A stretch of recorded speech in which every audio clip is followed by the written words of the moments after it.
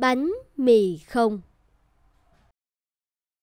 Ngày xưa ngày xưa, ở vùng đất Ireland, có một gã khổng lồ tên là Finkun, rất thích luyện võ.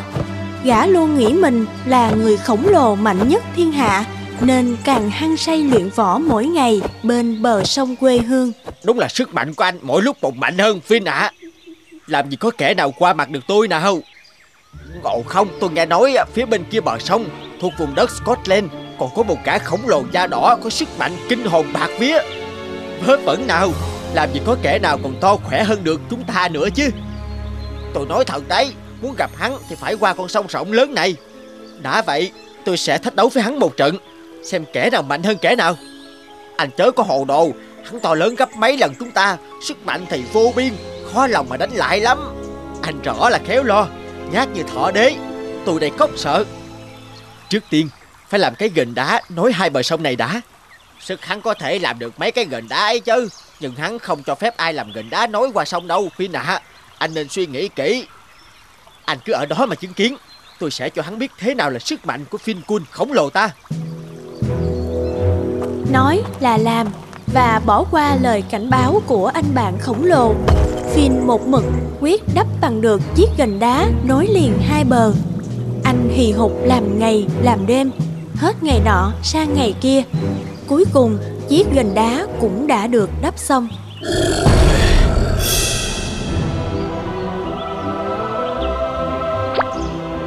Hả là con gì kêu mà khủng khiếp đến vậy chứ Trời ơi không lẽ đây là gã khổng lồ da đỏ sao? Hắn to lớn đến thế này sao chứ? Gấp đôi mình mất. Kẻ nào xây cái gành đá này? À, Không à, à không à. Không phải tôi. Ai? Ngươi có nói cho ta biết không? Nếu không Ta sẽ phá nát ngôi làng của ngươi. À, Là Phin Cun ạ à. Sợ quá. Đáng sợ quá.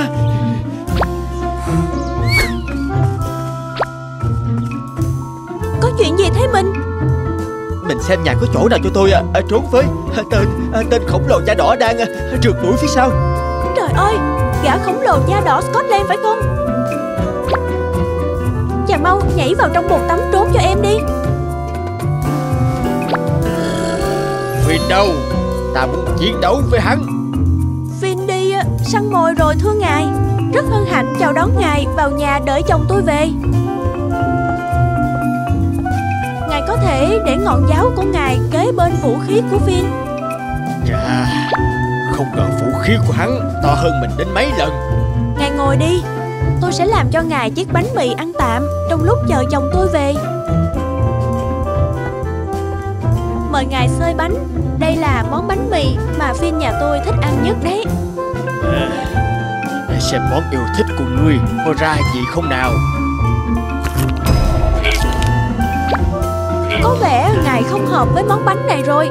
Để à, tôi đi lấy cho ngài cốc bia nha.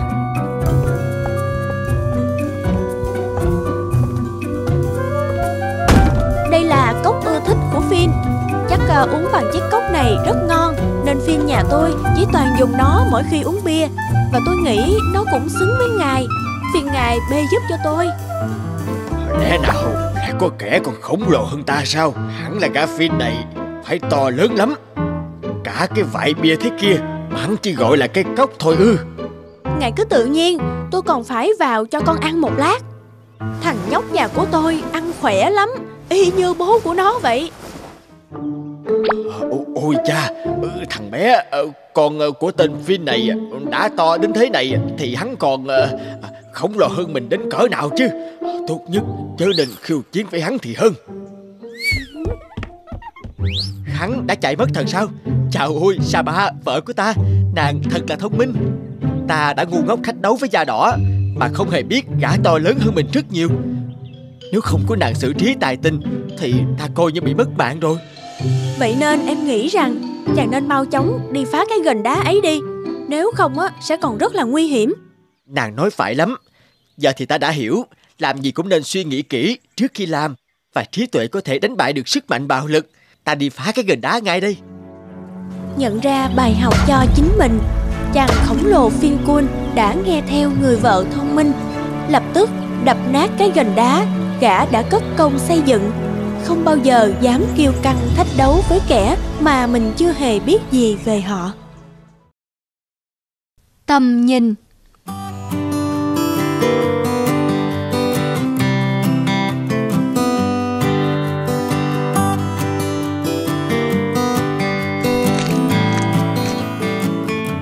Đi biển thế này, đúng thật đen đuổi. Chào bà. Hình như bà đang than phiền điều gì. Gia đình tôi đến đây để tận hưởng nắng và gió của biển khơi. Vậy mà từ sáng tới giờ, chẳng có tí nắng nào. Mây ở đâu kéo rợp cả bầu trời. Chán thật. Chán ư, Tôi lại yêu cái khí trời mát mẻ này biết bao. Bà thấy không, Đám mây lớn đã che đi ánh nắng chói chang Để ta thỏa sức ngồi đây tận hưởng những cơn gió mát. Mà nó còn bảo vệ làn da mịn màng của những người phụ nữ Khỏi bị cháy nắng, phòng rộp nữa cơ đấy. Bà nên vui vì điều này mới phải. Nhưng một lát nữa thôi trời sẽ mưa. Lúc ấy ông còn tận hưởng được nữa không? Lại quá tốt. Bãi biển này nắng quanh năm Nên những cơn mưa quý giá biết chừng nào. Mưa sẽ thanh lọc bầu không khí trở nên trong lành hơn. Và hơn thế Nó khiến cây cối cỏ hoa héo khô Tươi tắn trở lại. Nó sẽ khiến bãi biển này trở nên xinh đẹp hơn bà ạ. Ông nói đúng thật. Tôi đúng là hay lo hảo. Mary, bà đây rồi. Con chào mẹ. Cháu chào chú. Ừ, chào hai cha con. Hai cha con đi câu về rồi đấy à Hai cha con tôi tìm bà mãi. Bà đưa chìa khóa phòng đây Để hai cha con tôi về cất đồ. Ôi thôi Tôi khóa cửa, Nhưng chìa khóa để quên trong phòng rồi ông ạ. Cái gì cơ? Sao bà lại đáng trí đến thế chứ? Làm việc gì cũng không ra hồn. Ông Ông nói vậy mà nghe được à? Thế ai đã để quên kem chống nắng của tôi ở nhà? Lại còn quên cả mấy ảnh nữa chứ? Ông đúng là đồ lẫm cẩm, Khó ưa. Bà nói gì cơ? Bà nói với chồng bà như thế đấy hả? Ông cũng thế còn gì? Ông ơi, Ở quầy lễ tân khách sạn, Hẳn phải còn chìa khóa dự phòng. Ông chỉ việc tới đó mượn là được mà. Đúng. Nếu không tìm được bà ấy, Thì tôi cũng định làm vậy. Còn bà Bà có thể mua kem chống nắng của bất kỳ hãng nào, Ở bất kỳ cửa hàng nào gần đây một cách dễ dàng. Thợ chụp ảnh chuyên nghiệp Luôn sẵn sàng phục vụ các vị. Tôi đã tìm mua sáng nay rồi. Thợ chụp ảnh tôi cũng tìm rồi. Chỉ là ông ấy cứ thích gây sự, Nên tôi... Như thế, Chúng ta chẳng có lý do gì để cãi nhau. Ông bà hãy bỏ qua những thứ vụn vặt Để tận hưởng những giây phút đầm ấm quý giá Mà không phải ai cũng có được. Ông ấy nói phải đấy. Thôi, chúng ta về phòng nghỉ ngơi thôi, Trời cũng trưa rồi. Chào ông. Vâng ông bà về. Mẹ ơi, mẹ giúp con xách chiếc ba lô này đi. Đó là đồ cá nhân của con. Và chiếc ba lô ấy đâu có nặng so với sức của con. Nên con hãy tự mang nó, Tom ạ. à.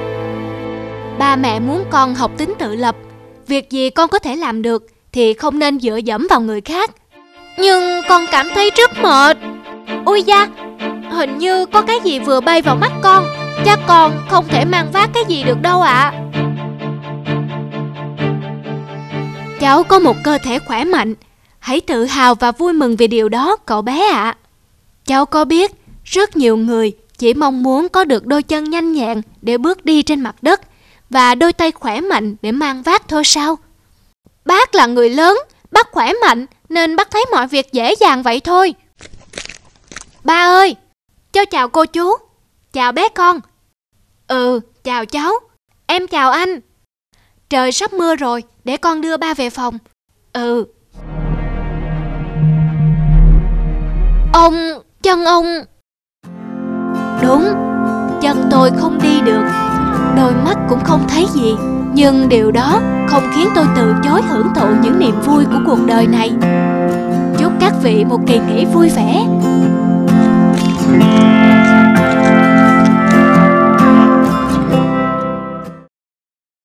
Anh thợ giỏi.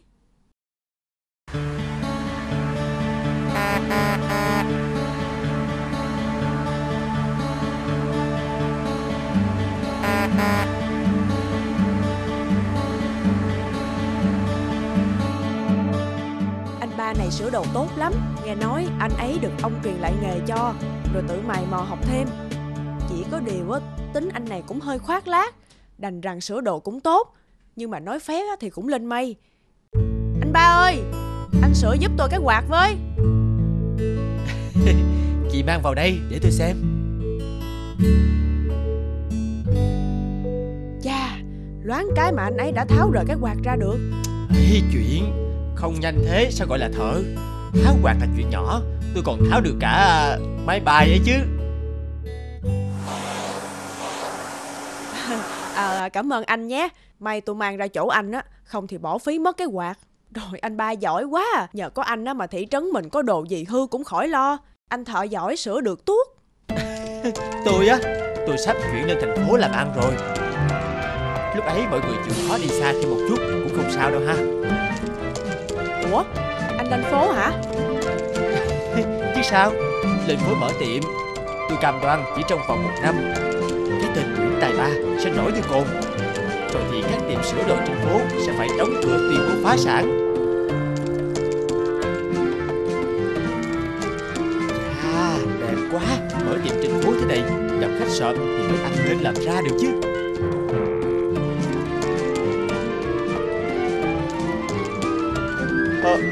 Hỏng rồi à.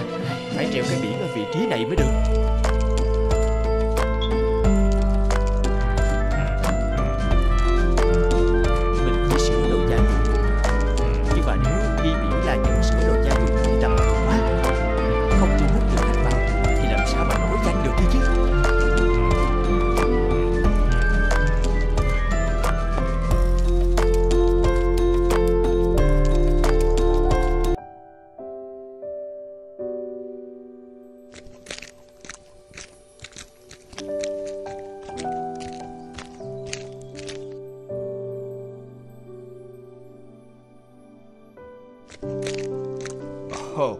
Có tiệm sửa chữa ở phố mình sao? Chà, sửa được tất cả mọi thứ cơ à?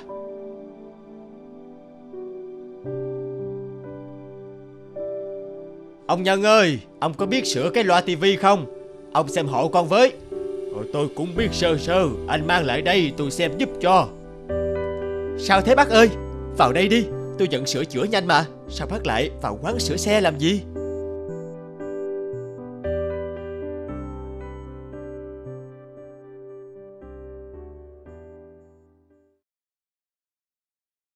Quái lạ, cả tuần trời mà không lấy một người vào sửa cái gì. Cứ đà này thì tiền thuê nhà còn không có mà trả. Đúng là đất này không phát được rồi. Bị ám ngay trước cửa thế kia. Anh ơi, nước sông không phạm nước giếng nha. huân chi lão đã sửa xe ở đây ngót chục năm trời rồi. Anh nên xem xét lại việc làm của mình trước khi phán xét như vậy. Ờ, ờ tôi, ờ, tôi làm sao? Ông biết gì về tôi mà nói bừa như thế chứ?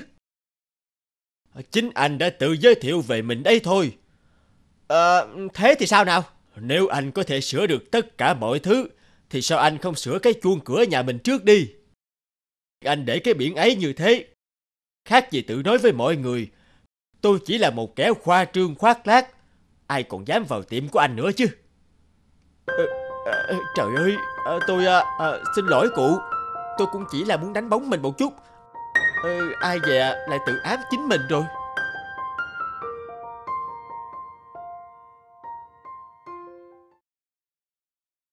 Mẹ và con trai.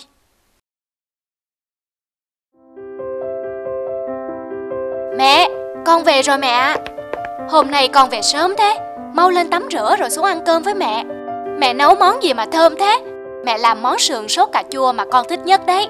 Hôm nay con có hẹn rồi. Mẹ chịu khó ăn cơm một mình nhé. Cái thằng không ăn cơm cũng không nói, Làm mẹ mất công nấu.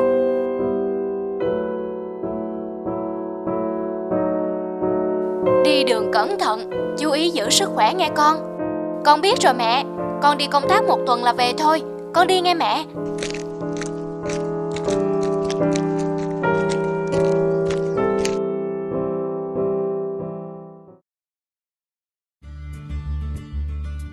Yêu à. Em có nhớ anh không? Anh có mua quà cho em đấy. Ôi tuyệt quá. Cảm ơn anh yêu. Anh mau về sớm với em nhé. Đức à Hôm nay vào trung tâm thương mại Nhìn thấy cái tai nghe đời mới nhất. Biết mày đang tìm Nên tao mua về làm quà cho mày đấy. Ôi thật thế sao? Đúng là thằng bạn tốt. Sao ba ngày rồi mà nó không gọi điện về nhà nhỉ? Không biết có chuyện gì không? Thôi, chắc nó bận việc, mình không nên làm phiền nó.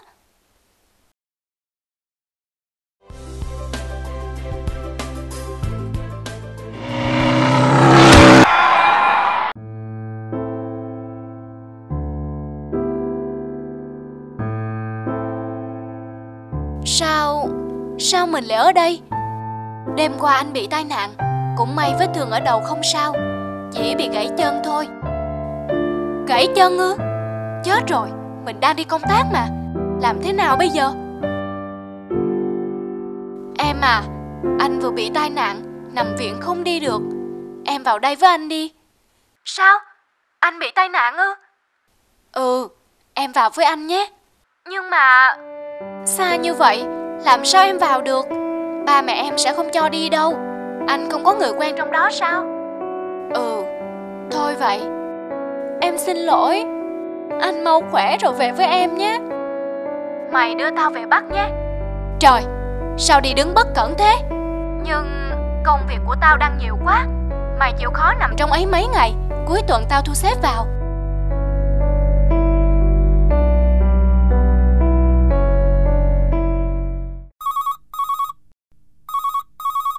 Alo? Ôi mày quá. Con đây rồi. Mẹ cứ lo con gặp chuyện gì Sao mấy ngày nay, con không gọi điện về cho mẹ. Con Con vừa bị tai nạn. Sao? Tai nạn ư? Con đang ở đâu? Con có sao không? Mẹ sẽ đến ngay với con. Mẹ, Con đang ở đâu? Hãy nói cho mẹ đi. Con không sao, Chỉ bị thương nhẹ thôi. Mẹ không phải vào đâu. Đường xá xa xôi, Khổ thân con tôi. Một mình ở đó làm gì có ai chăm sóc? Để mẹ đặt vé rồi vào luôn với con Con đừng có ngại. Ơ kìa mẹ. Mẹ, Chỉ có mẹ luôn yêu thương con vô điều kiện. Vậy mà Con lúc nào cũng vô tâm, Không để ý gì đến mẹ. Con xin lỗi, Con xin lỗi mẹ. Những con cá. Lát đác rừng phong hạt mốc xa ngàn non hiu hắt khí thu lòa lưng trời sóng rợn lòng sông thẳm mặt đất mây đùng cửa ải xa. Bài thơ của đỗ phủ đẹp nhưng cũng thật buồn. Nghỉ một lát ăn cơm đã con mẹ để con. Chà cá chép kho tương cứ thấy cá là sáng mắt lên. Ăn nhiều vào con con cảm ơn mẹ. Mẹ cũng ăn đi. Cảm ơn mẹ thì con phải cố gắng học hành, đỗ đạt. Ấy là báo hiếu mẹ rồi. Con sẽ học hành thật chăm chỉ. May mắn đỗ đạt làm quan, nhất định phải là quan thanh liêm. Mẹ tin ở con,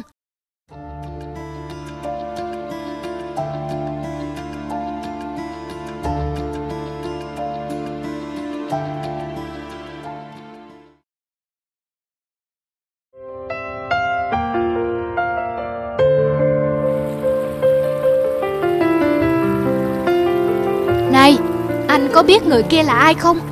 Gần đây tôi thấy ông ta hay lui tới đây câu cá lắm À ông ta là Trần Sinh quan tri huyện mới về nhậm chức ở huyện ta đấy Vậy sao? quan tri huyện mới à? Ừ, quan huyện trước bị bãi chức vì tham ô Nhà vua mới điều ông này về Nếu vậy thì chúng ta phải nghĩ cách làm thân giận đi Để dạ bẩm Ngài là quan huyện Trần Sinh phải không ạ? À? Là ta đây Các anh hỏi ta có chuyện gì không? Dạ, dạ Chúng tôi thật vinh hạnh gặp ngài ở đây Nên đánh bạo ghé qua hỏi thăm ngài Dạ thưa Đây là mấy con cá chép chúng tôi vừa câu được Mong ngài nhận giúp Gọi là có chút quà mọn Thật là vinh dự của chúng tôi quá Vâng, vinh hạnh lắm ạ à. Cha ơi, cá to quá Cá này mà chiên thì ngon tuyệt Cảm ơn các anh Nhưng ta không thể nhận cá của các anh được Sao thế ạ? À? Ngài chê cá này không ngon ư? Cá này chúng tôi vừa câu. Không phải vậy. Các anh câu được cá thì đem về nhà cho vợ con. Đem cho ta thế này Thì các cháu ở nhà ăn bằng gì? Vả lại, có câu, Không có công thì không hưởng lộc. Nên cá này ta không nhận được. Ấy, Ngài quá lời rồi, Chỉ là vài con cá thôi mà. Cha ơi, Cá này rất ngon mà. Chẳng phải cha thích nhất là cá chép sao? Chuyện người lớn, con chưa hiểu được đâu. Bây giờ thì con trật tự để cha còn câu cá. Chiều về mới có cha ơi. Sao cha không nhận của các bác ấy? Cha thích món cá lắm mà. Mà chúng ta mới câu được có mỗi một con. Con à Lần này đã đành. Nếu lần sau họ biếu nữa, Con có nhận không? Dạ Có ạ. Con à Chúng ta không thể nhận tùy tiện như vậy. Nhận lần một rồi sẽ có lần hai. Lần hai rồi sẽ lại có lần ba và nhiều lần nữa. Nhận cái nhỏ, rồi sẽ nhận cái lớn. Khi đó sẽ thành kẻ nhận hối lộ. Làm quan thì không bao giờ được phép nhận hối lộ. Hối lộ? Hối lộ là gì vậy cha? Hối lộ là người ta biếu quà mình để nhờ vả xin mình làm việc có lợi cho họ. Một vị quan mà nhận hối lộ thì không còn xứng đáng làm quan nữa muốn trở thành một vị quan thanh liêm thì đây là điều đầu tiên và quan trọng nhất mà con cần phải ghi nhớ. Thật không ngờ mấy con cá nhỏ này cũng có thể dẫn đến điều tệ hại như cha nói. Đúng thế con à.